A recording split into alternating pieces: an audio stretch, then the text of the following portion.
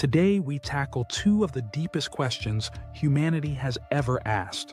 What is consciousness?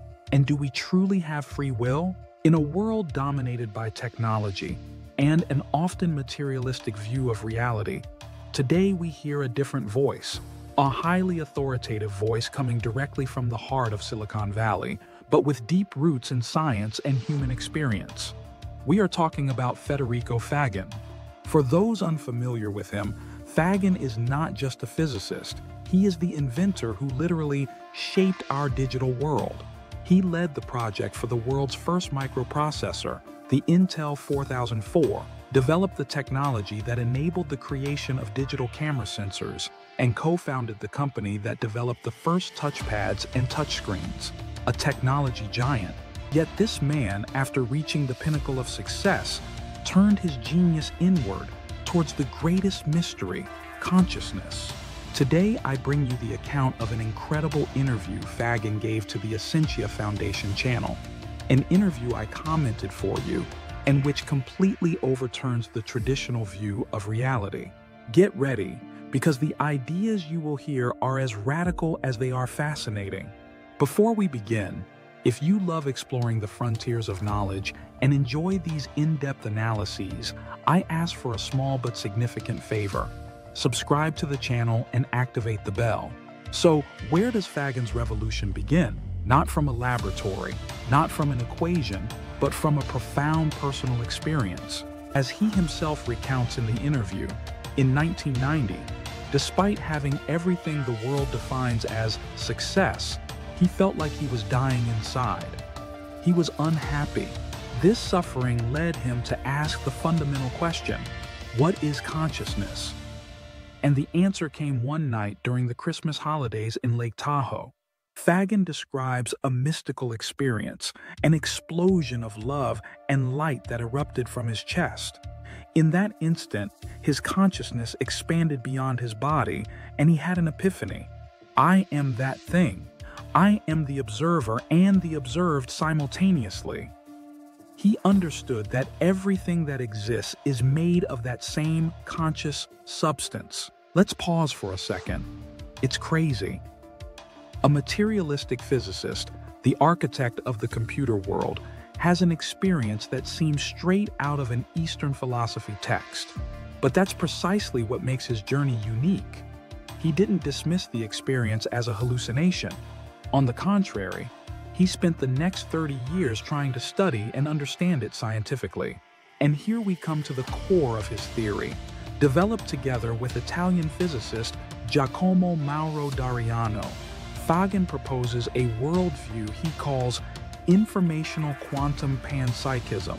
The central idea, as he explains in the interview, is this. Consciousness is not a product of the brain, it's not something that emerges from the complexity of neurons. On the contrary, consciousness is fundamental, an intrinsic property of reality, just like space and time. And our body? Here Faggin uses a powerful metaphor. Imagine, he says, controlling a drone remotely. The drone is in a distant reality. It sends you images, and you, from your location, have the conscious experience of what the drone is seeing. Your consciousness is not in the drone. The drone is just a vehicle, an avatar. Well, for Faggin, our body works similarly, an incredibly complex quantum classical machine that is piloted by our true essence, P. This essence is a conscious quantum field that is not located in space-time.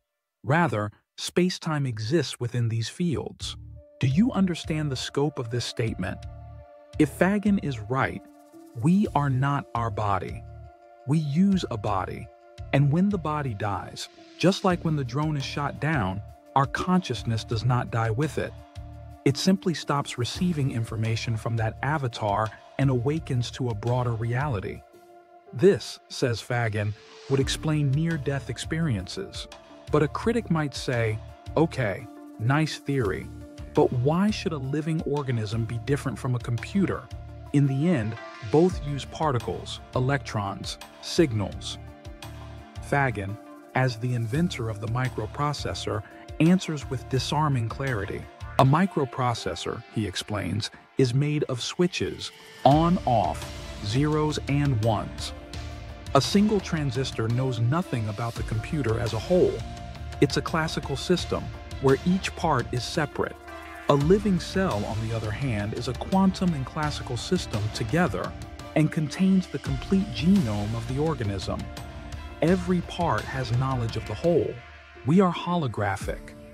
The particles inside a cell are not simple bouncing marbles, but as quantum physics states, they are states of a field, inseparable from the field itself. And that field, for Faggin, is conscious and has free will. The decision is not in the cell, but in the field that controls the cell.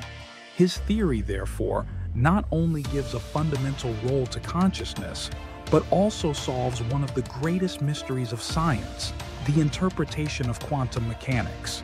According to Faggin, quantum information, the qubit, is the mathematical representation of inner experience, of qualia, meaning our sensations. And the famous and mysterious collapse of the wave function, it's not a random event.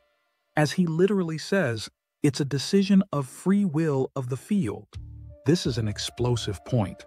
For a century, physicists have puzzled over why a single classical reality emerges from a world of quantum probabilities. Faggin says, the choice is not random, it's an act of will, and this will is not only ours but in every quantum field, down to the field of electrons. The universe is not a deterministic machine, but an infinite interaction of wills. And here the theory becomes even grander. Why should the universe be this way? Faggin starts from a postulate that unites science and spirituality. The totality of what exists wants to know itself. To know itself, it must create innumerable points of view, perspectives from which to observe itself.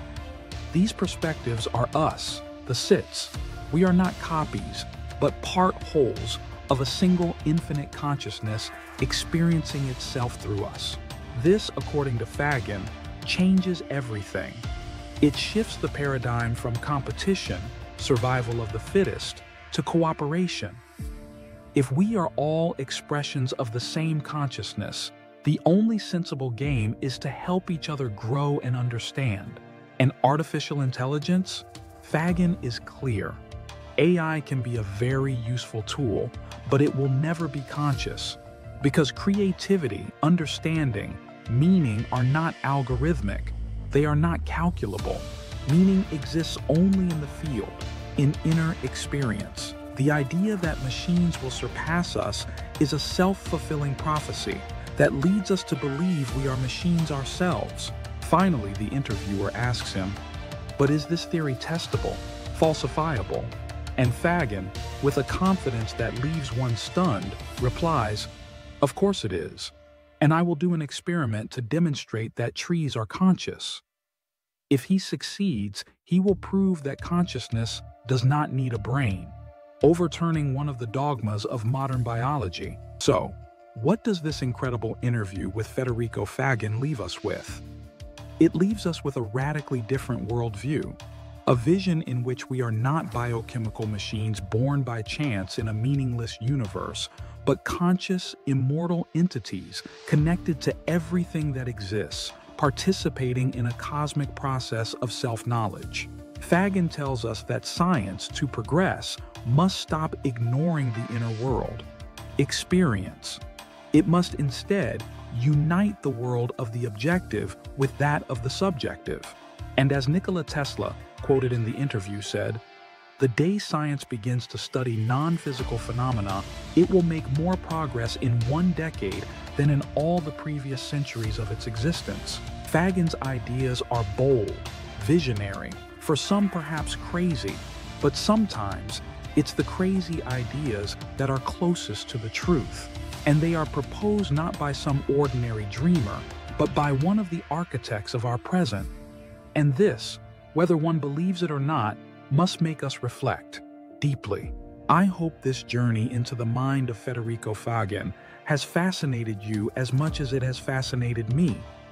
What do you think? Is the universe a machine or a conscious entity? Let me know in the comments. Let's discuss it together. If you liked the video, leave a like and share it. It would help the channel immensely to reach other curious minds. Thank you for being with me. See you on the next journey at the frontiers of science.